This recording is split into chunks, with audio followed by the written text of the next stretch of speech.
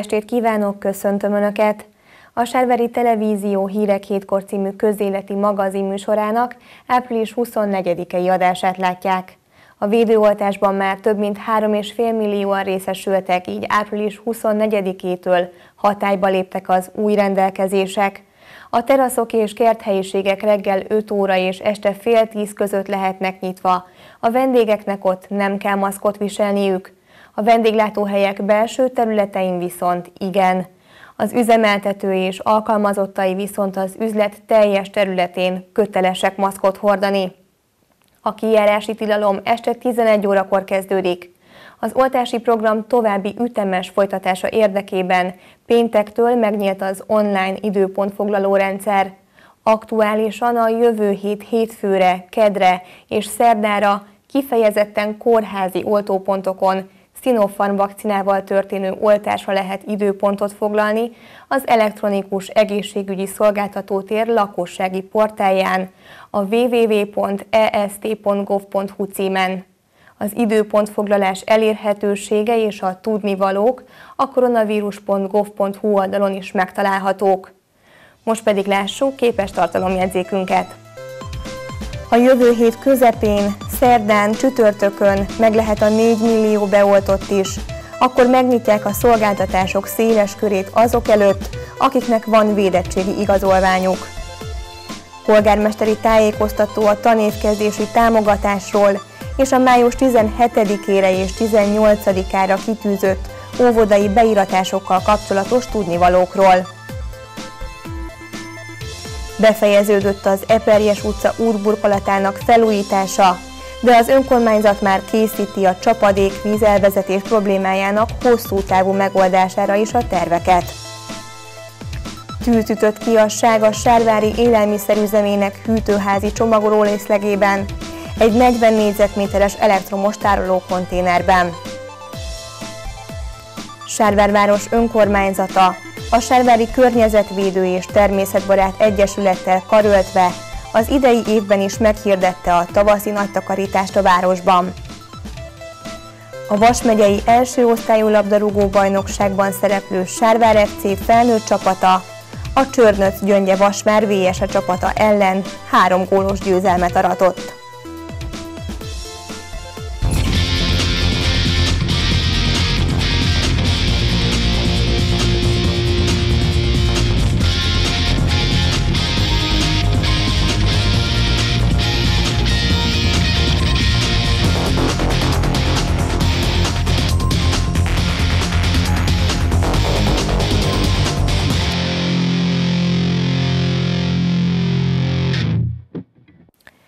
Jövő hét közepén, szerdán, csütörtökön meg lehet a 4 millió beoltott is. Akkor megnyitják a szolgáltatások széles körét azok előtt, akiknek van védettségi igazolványuk. Jelentette be Orbán Viktor miniszterelnök a Kossuth Rádió péntek reggeli műsorában. A hírt örömmel fogadták a Nádasdi Kulturális Központ, a Sárvár Aréna és a Sárvári Gyógyfürdő igazgatói is miután április 24-én 3,5 millió beoltott után megnyithattak a teraszok, már várhatjuk is a járvány utáni újraindítás következő lépését, amelyet Orbán Viktor miniszterelnök jelentett be. 4 millió beoltott után, amely jövő szerdára vagy csütörtökre várható, látogathatóak lesznek a színházak, a tánc és zeneművészeti események, a cirkuszok, a mozik, az edző és fitnesstermek, az uszodák, a közfürdők, a jégpályák, az állatkertek, a vadas parkok, a kalandparkok, a vidámparkok, a játszóházak, a múzeumok, a könyvtárak és a sportesemények. Ezen kívül kinyithatnak a szállodák is, és kinyithatnak az éttermek belső helyiségei. A szolgáltatások széles körét azok előtt nyitják meg, akik rendelkeznek védettségi igazolványjal. Takács Zoltán Bálint, a Nádasdi Kulturális Központ igazgatója, kollégáival együtt már nagyon várta ezt a bejelentést. A döntést azt nagyon, én nagyon jól fogadtam. Az a helyzet, hogy már múlt héten kijött néhány hír arról, hogy 4 milliónál lesz egy nagyobb fajta nyitás, de azokban a hírekben nem igazából szerepelt pontosan, hogy ez vonatkozik-e a múzeumokra, a könyvtárakra, a kiállító terekre általában, hanem rendezvényekről, mozikról, színházakról beszéltek, és amikor Orbán Viktor miniszterelnök úr ezt ma nyilvánosságra hozta, akkor egyértelművé tettem magam számára és egyből a munkatársaimnak a megfelelő csatornákon, hogy mihelyt elérjük a 4 millió főt, mi másnap nyitni fogunk, természetesen figyelemmel arra majd, hogy milyen szabályok lesznek. Kettől kezdve az otthoni munkavégzést leállítjuk, és onnantól kezdve mindenkinek kötelező bejönni a múzeumba. Ez persze most önmagában a sárváriakat nem izgatja, de az utolsó nagy takarítást meg kell tennünk, felszereljük a, a, a, a fertőtlenítő dobozokat, egyéb dolgokat, és hát ki kell írnunk azokat az információkat, melyek szükségesek a biztonságos látogatáshoz.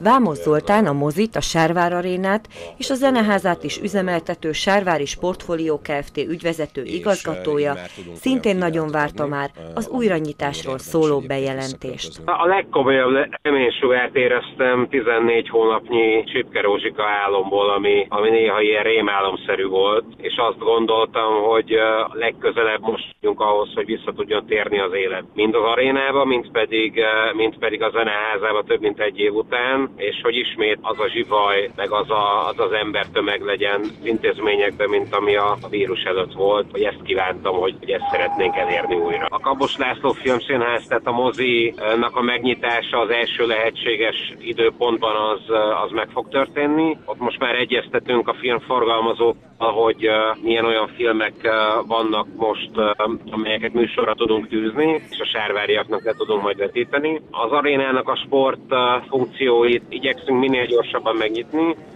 több mint 12 olyan foglalkozásvezetővel voltunk kapcsolatban, akivel együtt dolgoztunk a vírus előtt, velük haladéktanul fel fogjuk venni a kapcsolatot, és egyeztetni fogunk arról, hogy milyen, milyen úton, módon és lehetőségek mellett lehet a az ő foglalkozásaikat újra elindítani. És hát vannak ugye csapatsportágaink, kézilabda, futszál. Bízunk abban, hogy a kézeseknek még tart a bajnokság, az utolsó mérkőzéseket bízunk abban, hogy közönség előtt fogjuk tudni megrendezni, illetve a futszál csapat, a Sárvár FC-nek a futszál csapata közben bajnok lett a, a regionális bajnokságban, zárt kapuk előtt sajnos. A srácoknak ezúton is gratulálunk, és az a cél, hogy őket még most a késő tavaszi, koranyári időszakban megmutassuk a sárvári közönségnek, tehát hogy ők is be tudjanak szurkolók előtt mutatkozni az arénában. Nem csak a Sárvári Gyógyfürdő Kft. részéről, de az egész turisztikai szektor részéről is nagy várakozás előzte meg az újranyitásról szóló híreket. Kántár Zoltán fürdőigazgató szerint számukra elsődleges szempont mind a vendégek, mind a munkatársaik biztonsága május harmadikán megnyílik újra a gyógyászatunk. Arra kérem viszont az érdeklődőket, hogy előzetes bejelentés alapján vagy bejelentkezés alapján vegyék igénybe a szolgáltatásainkat. A ma reggeli bejelentést követően megtárgyaltuk, hogy milyen forgatókönyv mentén és milyen legkorábbi dátummal tudjuk a létesítmény, illetve annak egyes részeit megnyitni. Mi is nagyon szeretnénk, ha ez a lehető leggyorsabban megtörténne, de vannak nyilvánvalóan olyan időbeli korlátok, amit kénytelenek vagyunk betartani egyrészt a medence töltése, felfűtése, és hát nyilvánvalóan azok a hatósági engedélyezési folyamatok, amik ilyenkor elkerülhetetlenek, azok alsó hangon is egy legalább kéthetes türelmi időt igényelnek még a vendégeink részéről és a megnyitással kapcsolatosan is először és fokozatosan szeretnénk eljárni, azaz először mindenképp a régi medenceteret, külső-belső medencékkel biztosított környezetet, gyógyvizes medencénket fogjuk a vendégeink rendelkezésre bocsájtani a sauna világgal együtt, és ezt követően fog majd a családi élményfürdő rész és a strand megnyitni. Figyelembe kell venni, hogy az első időszakban csak és kizárólag a honfitársaink vehetik igénybe a szolgáltatásainkat, ami önmagában persze nagy öröm, de azért mégiscsak hiányozni fog a kezdeti időszakban a külföldi vendégek. Másrészt természetesen jövő hét elején a tulajdonossal történt egyeztetést követően szeretnék én személyesen is a szállásadókkal és a bérlőinkkel is egy megbeszélést tartani a következő napok, hetek előkészületeiről, illetve a pontos nyitás dátumairól. A 4 millió beoltott utáni újranyitással kapcsolatos részletszabályok még nem ismertek. A várban, az arénában és a fürdőben a nyitás után életbe lépő szabályokról csak ezek ismeretében tudnak az igazgatók majd tájékoztatást adni. A 2021-2022-es tanévre beiratkozott általános iskolás gyermekek után az idei évben is igényelhető tanévkezdési támogatás a Servári önkormányzattól. Az óvodai beiratkozások időpontját is kitűzte az önkormányzat május 17-ére és 18-ára. Mindezekről és az időközben lezajlott általános iskolai beiratásokról is tájékoztatás adott Kondora István polgármester. A Sárvári Hírlap április 23-i lapszámában jelentek meg a 2021-22-es tanévre igényelhető önkormányzati tanévkezdési támogatás kérelem és jövedelemigazolás nyomtatványai. A tanévkezdési támogatásra való jogosultság jövedelmi feltétele, hogy az egyfőre jutó nettó jövedelem ne haladja meg család esetén a 94.050 forintot, gyermekét egyedül nevelő szülő esetén a 135.432 forintot. 12 ezer forintot kapnak a gyermekek. Ez adott esetben nem a teljes költséget nyilván, de egy jelentős segítséget ad a sárvári szülőknek, és az elmúlt évek alapján azt mondani, azért több száz sárvári családnak jelentette segítséget, és a szociális ellátó rendszerünkön belül, ahol van 10-12 féle lehetőség támogatásokhoz jutni, ez egy, ez egy speciális kimondottan az iskolára és az iskolásokra fókuszáló segítséget jelenthet. Kondora István elmondta még, hogy a tanévkezdési támogatás iránti kérelmeket a Sárvári Közös Önkormányzati Hivatal hatósági irodájában lehet előterjeszteni május 1-től július 31-ig. A polgármester a napokban lezajlott általános iskolai beiratkozásokról is beszélt. Ebben az évben nem tudom, a szerencse is hozta így. Elsősorban azonban a törvényi előírásoknak tudom én be, hogy 206 gyermek van, aki az általános iskola első osztályába iratkozhat. A Gárdony iskolába három első osztály, a Nádasdiba szintén három, a katolikus iskolába pedig két első osztály fog indulni. A új törvényi előírás szerint az, hogy amelyik gyerek betöltötte hatodik életévét, annál csak speciális vagy különleges esetben lehet visszatartani az iskolákban, mert az elmúlt években azért két osztályra való gyermeket visszatartottak a szülők az oviba, most meg a ismereteim szerint olyan 14-16 fő között van, akik szakértői vélemény alapján vissza tudnak maradni az óvodában még egy évig. Én szerintem ez jót tesz mindannyiunknak, mert a óvodába egy kis levegőt tudunk kapni, tehát kiürül akkor a nagycsoportoknak a helye, az iskolák viszont szerencsés helyzetben három-három, illetve kettő osztályjal el tudják indítani a képzésüket, és ugye amelyik végig megy az egész nyolc éven, ez bizony annyit jelent, hogy majd a következő években is figyelni kell, ugye, hogy nem egy osztály, nem két osztály, hanem három osztály van az önkormányzati iskolákban, hát illetve a, a tankerületi iskolákban, és úgy látom, hogy mindenki lelkesen készül erre a feladatra. A polgármester arról is szólt, hogy a 2021-22-es nevelési évre az óvodai beiratkozás időpontját május 17-ére és 18-ára tűzte ki. Mégpedig oly módon, hogy közben eldőlt, végérvényesen eldőlt, hogy a Csicsergő óvoda egyházi fenntartásba kerül, a többi óvoda, telephely, illetve a fő foglalkoztató helyszín a várkerület, a két telephely Kertvárosban és Péntekfaluban, ők pedig együtt, egy intézményként fog a továbbiakban működni. Én azt gondolom, hogy minden törvényi kötelezettségeknek mi eleget tettünk, én most már várom azt, hogy mindenki lelkismerete szerint válassza ezt az óvod, azt az óvodát, amelyiket ő, ő szeretne, és Nyilván majd a képzésnek a tartalmi elemeit, az pedig az óvoda vezetősége fogja megállapítani. Az óvodába elektronikus úton is be lehet iratkozni a 2021-22-es nevelési évre. Az óvodák és az önkormányzat www.sárvárváros.hu honlapján megtalálható jelentkezési lapot a választott óvoda e-mail címére kell beküldeni. Befejeződött az Eperjes utca útburkolatának felújítása, de az önkormányzat már készíti a csapadékvíz elvezetés problémájának hosszú távú megoldására is a terveket. A részletekről Szabó Zoltán alpolgármester adott tájékoztatást. Az Eperjes utca, Ungvár utca kereszteződésében találkoztunk Szabó Zoltán alpolgármesterrel. Elmondta, hogy az útburkolat felújításának elkészülte után már a műszaki átadás is megtörtént, és már a csapadékcsatorna rendszer további fejlesztését tervezi az önkormányzat. Ez egy 88 milliós projekt volt, amiből 40-et minisztériumi támogatásból, 48-at önkormányzati önrészből valósítottunk meg. Nem csak az útburkolat, a járda is, illetve ebbe az utcába még a hidak is megújultak. Ráadásul egy korszerű környezetkímélő technikával egyrészt a környezet terhelést is csökkenti ez a terramixes eljárás, illetve biztosítja azt, hogy, hogy nem fog tovább emelkedni az utca szintje, ezáltal a vízelvezetést is könnyebb lesz megoldani.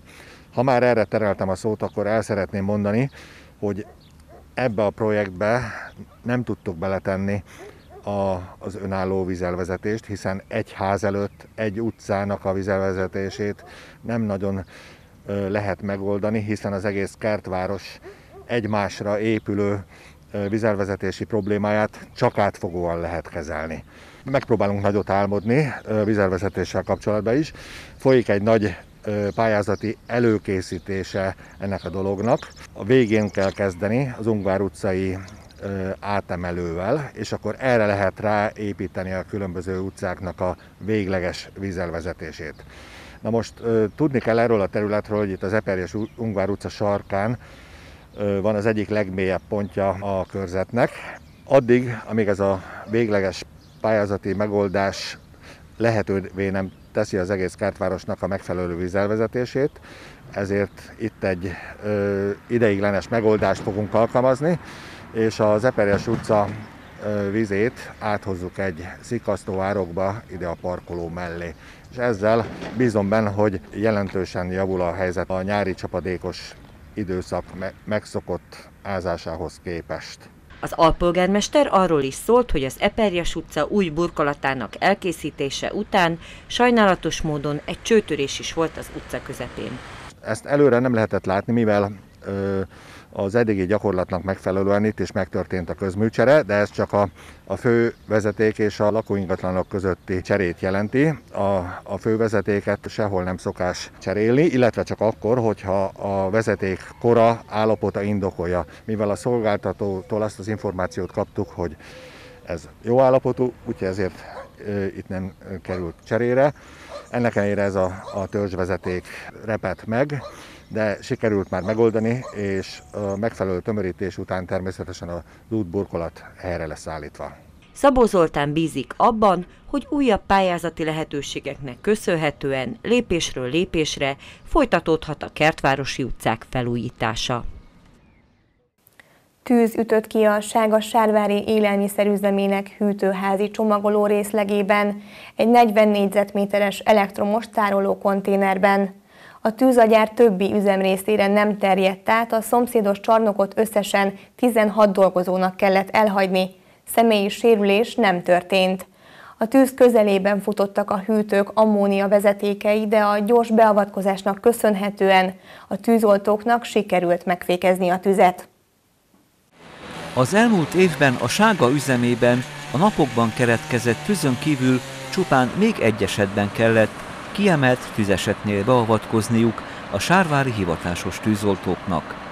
A rövid idő alatt ellenőrzés alá vont és megfékezett Soproni úti tüzeset kapcsán a Sárvári Katasztrófavédelmi Kirendeltség munkájáról Kovács Levente tűzoltó ezredes kirendeltségvezető beszélt. A tűzoltóságnál egy 5 fokozatú skálával értékeljük a beavatkozásokat, ez egy 3-as fokozatú beavatkozás volt. Azért is mondhatom azt, hogy különleges, hiszen az elmúlt egy évben mindösszesen még egy kettes fokozatú beavatkozásunk volt egy lakóház tűzénél. Ennél a tűznél is ugye megmutatkozott az egység, és a sárvári tűzoltók mellett még a Pápai, Körmendi, Szombathely és a Sopron-kevező tűzoltók is beavatkoztak. Ugye picit visszatekintsek az elmúlt körülbelül egy évre, elmondhatom azt, hogy a tűzesetek száma csökkent ebben az időszakban. Örvendetes az, hogy jelentősen csökkent a szabadtéren keletkezett tűzeseteknek a száma, illetve a lakóingatlanokba keletkezett száma. Én mindenképpen azt gondolom, hogy annak a hatósági munkának, annak a lakossági tájékoztatásnak is megvan az eredménye, amit tettünk, és nyilván a lakosság is úgy érzem, hogy egyre inkább átgondolja és komolyan veszi ezeknek a szabályoknak a betartását.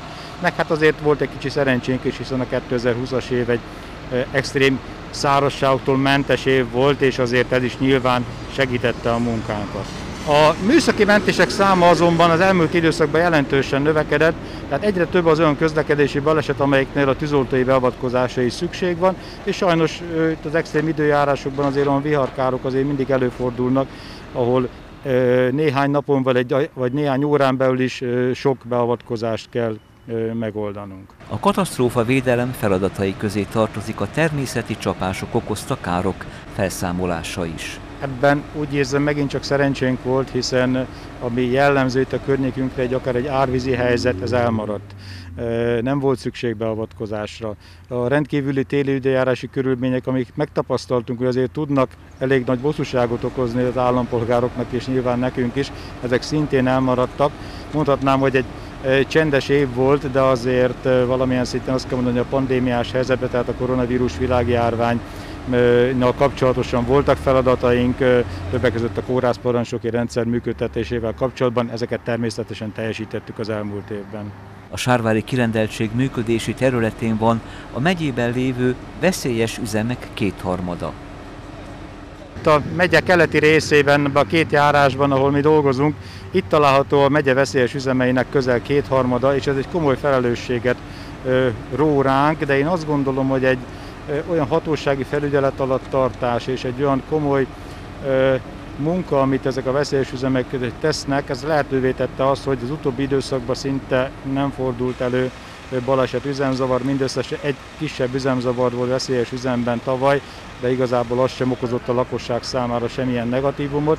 Illetve ha már itt ennél a bizonyos tűzesetről beszélünk, ez is egy tulajdonképpen egy veszélyes ipari üzemben történt, de itt is magának az épületnek a elhagyását megfelelőképpen gyakorolták nem is sokkal a tűzeset előtt, ez látszott, hiszen személysérülés itt sem történt, illetve minden olyan berendezés, amit üzemeltetniük kell, az működött, és így ez is csökkentette a kárt.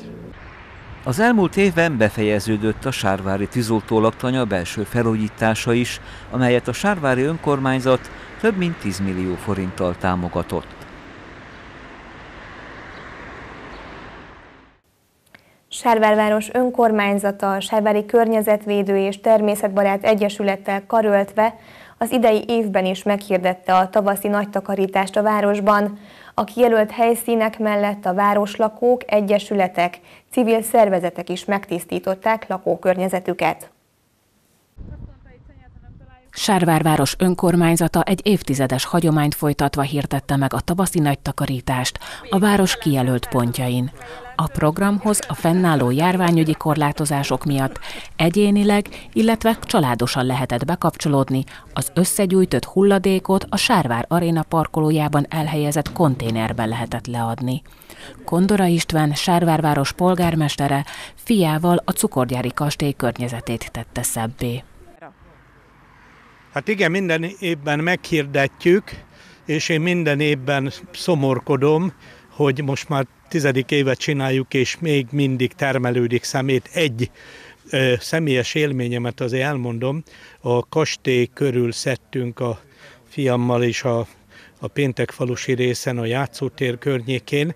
Azért ö, kevesebb szemetet érzékelek én, és sajnos egyre több olyan szemetet, ami, ami személyhez köthető, tehát nem tudjuk, hogy kidobta, de például italos üvegek, üdítős dobozok, sörös dobozok, papírzsebkendő, szájmaszk maradékok, tehát olyan egyszerű lenne ezt a kis szemetet betenni egy zacskóba, vagy a táskába, vagy zsebbe, egyszerűen és otthon kidobni a kukába. Tehát ebben úgy látszik, hogy még talán egy-két évtized eltelik, akkor javulni fog a lehetőség. Ami Amiért nagyon fontos nekünk, ugye, én nagyon remélem, hogy hamarosan elindul a turisztikai szezon, és ha jönnek újra a turisták Sárváron, akkor mégiscsak elegánsabb és szebb, hogyha egy olyan várost látnak, ahol a benyomás, az élmény inkább pozitív, mint az, hogy szemetes város, tehát inkább legyünk egy tiszta, szép, virágos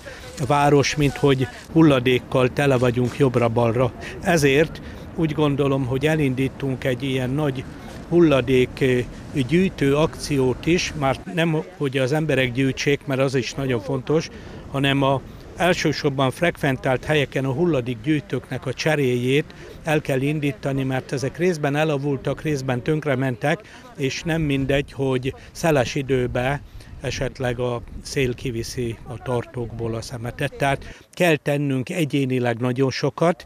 Mindenki, ha csak a saját háza körül rendet tartana, az egy óriási dolog lenne már. A Sárvári Környezetvédő és Természetbarát Egyesület a közelmúltban megbeszélést tartott a város vezetőivel a megváltozott városi hulladékelszállítási rendről is, melynek tapasztalatairól kérdeztük Bokorné Csonka Judit elnökasszonyt. 9. éve szedjük a szemetet Sárváron, a Tiszta Sárvárért dolgozik az Egyesületünk az önkormányzattal együtt. Az idei év azért is érdekesebb, mert a koronavírus véget azért sok program és egyéb más tevékenység is el, elmaradt. Tavaly nem történt szemétszedés, de a, már az idén viszont már jeleztek érdekességképpen, mondom, hogy jeleztek a lakók, hogy nem lesz -e. Tehát igény van már rá, ami köszönhető a a lakók felfogásának, az önkormányzatnak, így azt hiszem Soárváron globálba köszönhető a lakosságnak. Viszont én annyit szeretnék mondani, hogy itt, akik a lelkükön viselik a, a, a környezetük tisztaságát, szépségét, ők szedik a szemetet, és nem azok szedik, akik eldobják a szemetet. Tehát nem kellene eldobni. Tehát aki, aki úgy gondolja, hogy eldobja, annak szerintem itt lenne a helye, és velünk együtt, azokkal az emberekkel együtt, akiknek fontos a környezetük, azokkal együtt szedje. A Sárvári Környezetvédő és Természetbarát Egyesület az elmúlt évekhez hasonlóan a város számos helyén gyűjtötte az eldobott hulladékot. Az idei tervünk amit az élet hoz, erre mindig ezt mondom. Annyit tudok mondani még, hogy a közelmúltban voltam a az Egyesület képviseletében a Városházán, ahol szívélyesen fogadott a polgármester úr, és az alpolgármester úr. A témakörünk az STKH új hulladék elszállításával kapcsolatos módosítás volt. Olyan módosítást hozott az STK létre, hogy a korábbi gyakorlathoz képest a szelektív hulladékgyűjtést a havonta kettő alkalomról egyre váltotta, illetve a zöld hulladék gyűjtését is kettő, havonta kettő alkalomról egyre váltotta. Ez a lakosság számára ö, egy kicsikét ö, felkeltette a figyelmét, hogy szépen fejezzem ki. Mind az önkormányzat felé is jeleztek, mind felénk is jeleztek, de azt kell mondjam, hogy az önkormányzat erre hamaros, hamar gyorsan reagált, mivel létrehozta azt, hogy az üvegeknek külön szigetet állít, külön gyűjtőszigetet hozott létre öt helyen, és tíz alkalommal átvállalta a zöld hulladék elvételét, tehát ezzel a probléma mint egy kicsikét tehát rendeződött. Itt Sokat gondolkodtam ezen a témán, hogy vajon miért történt ez a az STKH által, hogy a szelektív hulladékgyűjtőt azt ö, emelném ki. Talán nem véletlen. Talán megpróbálják így rászorítani az embereket, hogy tudatos vásárlást csináljanak. Az ö, nem kell mindig ö, PET palackos ásványvizet vásárolni, fel lehet a reklámtáskákat cserélni lebon, lebomló műanyagokra, illetve ruhatáskára, tehát jobban oda kell figyelni. A környezetvédők mellett a város számos civil egyesülete, vállalkozása is becsatlakozott az idei tavaszi nagy takarítás programjába. A Sárvári kerékpáregylet, a város kerékpár útjai mentén, a cserkészek a kenyérgyár mentén, a Huke és az Avia, a gyár, illetve a benzinkút környező területét tették tisztábbá, még élhetőbbé. A szervezetek mellett azonban szép számban vett részt a lakosság a hulladékgyűjtési akcióban. A Sárvár lendületben oldalra beérkezett fotók beküldői között lezajlott a sorsolás. A tavaszi nagy takarítási akcióról fotót beküldő résztvevők között két ajándékcsomagot sorsolt ki a Sárvári Környezetvédő és Természetbarát Egyesület a Sárvári Média Centrummal közösen. A Sárvárváros önkormányzata által felajánlott díjakat Hernádiné Német Edit és Grodvaltné Martos Veronika nyerte. Gratulálunk! Tegyünk együtt azért, hogy egy tiszta városban élhessünk továbbra is. Mi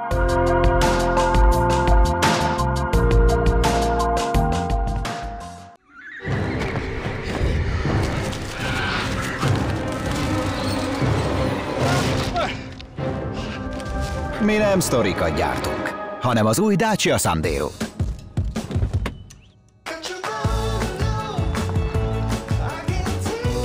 Új Dacia Sandero. Pont elég tökéletes. Sandero másfél millió forint kezdőbefizetéssel, már akár napi 950 forinttól.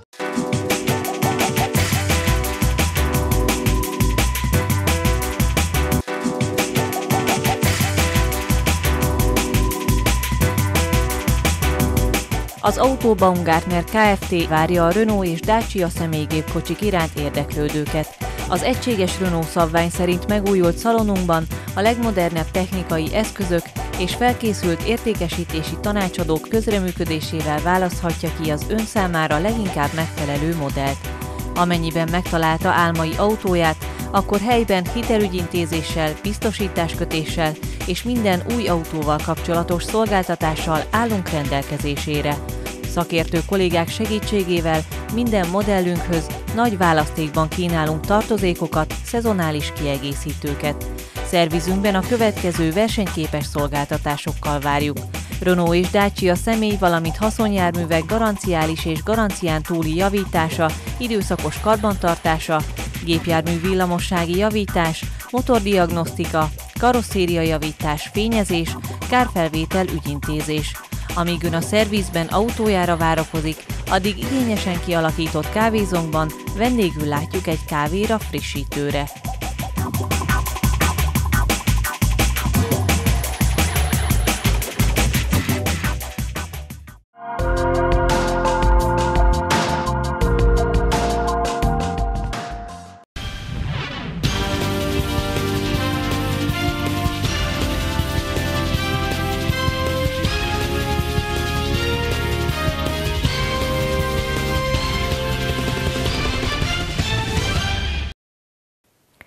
Vas megyei első osztályú labdarúgó bajnokságban szereplő Sárvár FC felnőtt csapata a 18. fordulóból áthelyezett mérkőzésen hazai pályán fogadta a Csörnöz Gyöngye Vasvár VS-e csapatát, és akárcsak ősszel most is magabiztos három gólos győzelmet aratott. A Sárvár FC továbbra is vezeti a bajnoki tabellát. A jó idő beköszöntével a műfüves után ismét a centerpályán játszhatott a sárvári csapat, egyelőre továbbra is zárkapus találkozót. A legutóbbi két mérkőzés mérlege egy idegenbeli döntetlen és egy hazai győzelem. A sárvári csapat a 27. fordulóban a Szarvaskend otthonában gól nélküli döntetlent játszott. Igazából végig küzdöttük a mérkőzést. Az elején egy kicsit kapkodóan játszottunk, azt meg kell mondani, hogy egy nagyon pici szűk pálya van, és nagyon sokat feleslegesen elíveltük a labdát, tehát iszonyat sokat volt a levegőben, oda-vissza járt a labda. Aztán ugye ezzel kicsit vérszemet kaptak, ott azért meg kell mondani, hogy voltak ennek ellenére lehetőségeink, kimaradt, és egy kicsit furcsát, talán azt nem akarok minősíteni senkit, de még talán a megyei bajnoksághoz méltatlan körülmények voltak. Egy labda volt, amikor hozzájuk került, kirúgták a pálya mellett lévő szántóföldre, vagy 35-ször volt kinn a labda, 35-ször szedtük össze, ez mind egy-egy perc, tehát ilyen apróságok, de nem ennek köszönhetjük, hanem annak, hogy, hogy a hiába sikerült kialakítanunk helyzeteket a kapu előtti szituációkban. Pontatlanok voltunk, kapus védett, fölé, mellé, minden volt, csak a legfontosabb hiányzott a gól, ennyi történt ott. A Vasvár csapata ellen viszont sikerrel támadott a csapat, és Szabó Roland egy és Pap Márton Rafael két találatával felőrölték a vendégek védelmét. A taktika az volt, azt terveztük, hogy kétfajta módon próbálunk labdát szerezni, tehát az egyik az, hogy mi van akkor, ha hosszú labdával kezdenek ők, és mi van, ha hátul kezdenek, általában hátul kezdtek, és abból próbáltunk a saját térfelükön labdát szerezni. Ez a második fél időben valósult meg jobban, az elsőben azért ott bele-bele hibázgattunk a védekezésbe, és illetve az volt a, a taktika, hogy abszolút támadó jelleggel, labdaszerzés után három támadós játékra egyből szerkezetet váltunk, és széles játékkal próbálunk mögéjük kerülni, ha, ha így talán a belső támadó középpályásaink előtt is nagyobb lehetőség nyílik. Hát ez aztán a második félidőben próbáltuk is megvalósítani. Arról volt szó, hogy minél kevesebbet legyen a levegőbe a labda, inkább gyors, lapos, lendületes passzokkal járassuk meg, és ilyen mélységi passzokat próbáljunk meg az ellenfél védekezése mögé beütni. Ezt a második félidőben láttuk igazán. A Sárvár FC biztosan vezeti a bajnokságot, a hajrára azonban a királyese feljött a második helyre, és a végjáték még nehéznek ígérkezik. Most, most kezdődik igazán. Tehát azt kell, hogy mondani, hogy még lesz jó pár olyan mérkőzésünk, amire jó formában levő csapatokkal ellen fogunk játszani. Hát most nagyon sűrű a program, tehát pont most néztük meg, hogy úgy, hogy egy szabadnapunk van, a, most április 21 van, és május 24 azt hiszem pünköst hétfő. Ebbe az egy hónapban kilenc mérkőzést fogunk játszani, amiből egy kupameccs és nyolc bajnoki, egyen túl vagyunk a mai nap, tehát igazából most kezdődik az, hogy ki tud jobban frissíteni, tehát ez egy kicsit olyan, hogy, hogy észnél kell lenni, lesz olyan, hogy, hogy szombat, hétfői forduló, szerda, vasárnap, közben egy kupa megy szerdán, tehát nagyon sok mérkőzés van, és jó csapatokkal. Na most a királyra visszatérve ezt mi tudtuk, tehát számítottunk rá, hogy oda fognak érni, beszéltünk is róla, egy abszolút masszív, kiegyensúlyozott, télen elég jól megerősített csapat, ami már ugye az ősszel is a jó focit játszott. Tehát azt kell mondani, hogy ez egy nagy versenyfutás lesz most, mert most mondjuk azt, hogy stabilan vezetjük, de nekünk jön a szünnap, nekik mérkőzés van, és egyből már is ott van egy mérkőzésnyi különbség a két csapat között. Tehát itt végig oda kell figyelni, szorgalmasan edzeni, és megpróbálni minden mérkőzést behúzni. A Sárvár FC legközelebb május 1-én hazai pályán fogadja a Répcelok csapatát. Kedves nézőink, továbbra is sporthírekkel folytatjuk. A Sárvárfürdő Kinizsi MB2-es női kézilabda csapat április 24-én adászártánk előtt a Celdömölki VSE otthonába látogatott. A kinizsi játékosai megerősödve térnek vissza a pályára a rövid pihenő után, mondta el Csonka László, szakosztályvezető. A mérkőzés előtt a Sárvár az ötödik, a Celdömölk a hatodik helyen áll a bajnoki tabellán. Utánpótlás nyári tábort szervez a Sárvár FC a klub sporttelepén. A 2005-2009-es korosztálynak június 21-e és 25-e között, a 2010-2014-es korosztálynak pedig június 28-ától július 2-áig naponta 8 és 16 óra között. A korlátozott számú helyekre jelentkezni a táborvezetőknél, Nagy Dánielnél és Kocsis Patriknál lehet. A Selvári Kinizsi golyó Teke csapata az MB1-es bajnokság nyugati csoportjának 17. fordulójában április 25-én pályaválasztóként Répcelakon fogadja a Herendvárosi Teke Klub együttesét. A Sopron ellen elszenvedett vereség után javíthat a hétvégén a tabella hatodik helyén álló Sárvári Teke csapat. Közéleti magazinműsorunk végén következzenek legfontosabb híreink röviden. A jövő hét közepén, szerdán, csütörtökön meg lehet a 4 millió beoltott is. Akkor megnyitják a szolgáltatások széles körét azok előtt, akiknek van védettségi igazolványuk. Polgármesteri tájékoztató a tanévkezdési támogatásról és a május 17-ére és 18-ára kitűzött óvodai beiratásokkal kapcsolatos tudnivalókról. Befejeződött az Eperjes utca útburkolatának felújítása, de az önkormányzat már készíti a csapadék vízelvezetés problémájának hosszú távú megoldására is a terveket. Tűz ütött ki a Sága Sárvári élelmiszerüzemének hűtőházi csomagoló részlegében, egy 40 négyzetméteres elektromos tárolókonténerben. Sárvárváros önkormányzata a Sárvári Környezetvédő és Természetbarát Egyesülettel karöltve az idei évben is meghirdette a tavaszi nagytakarítást a városban. A Vas megyei első osztályú labdarúgó bajnokságban szereplő Sárvár FC felnőtt csapata a Csörnöc Gyöngye Vasvár VS a csapata ellen három gólos győzelmet aratott. Kedves nézőink, Hírek hétkor című műsorunk április 24-i adását látták. Új közéleti magazinnal május 1-én jelentkezünk majd. Kövessenek bennünket a Facebookon és Youtube-on is. Viseljenek szájmaszkot, vigyázzanak egymásra. A viszontlátásra!